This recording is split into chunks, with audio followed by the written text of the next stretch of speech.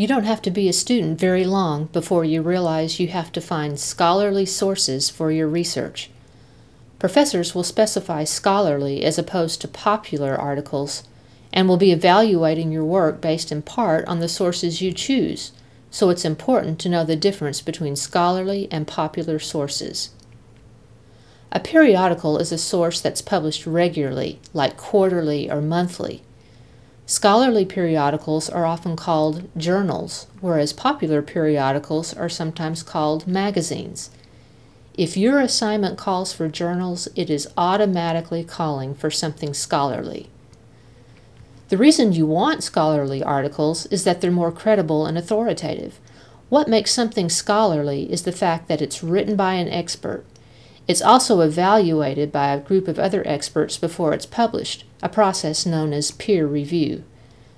Using scholarly, peer reviewed sources lets that high quality reflect back on your own work, so use scholarly material as much as possible for the best research. If you're looking at a printed periodical, the cover gives clues about what type it is. Popular sources often have glossy covers with lots of graphics, and they may have advertising inside. These are the types of magazines and newspapers that you'd find at a newsstand or grocery store. Scholarly journals are more plain, with a no nonsense look. They have very little advertising and probably contain only the individual articles. If your article is online, however, then you have to use different clues to tell if it's scholarly or popular. Here are some signs to look for. Scholarly articles should include an author affiliation or bio statement saying where the author is from and any degrees he or she has. There will often be an abstract or summary of the article. The text itself is usually written in a formal style for people in the field, not to laypersons, and may use special vocabulary.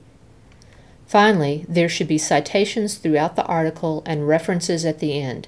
This means the author is following good research practice by documenting his or her sources so you can verify the information. References are a good indicator that you are probably looking at a scholarly article. There are often gray areas when deciding if something is scholarly or popular, and sometimes even popular articles may be appropriate for certain topics. If you have questions about a source, be sure to consult your professor or a librarian.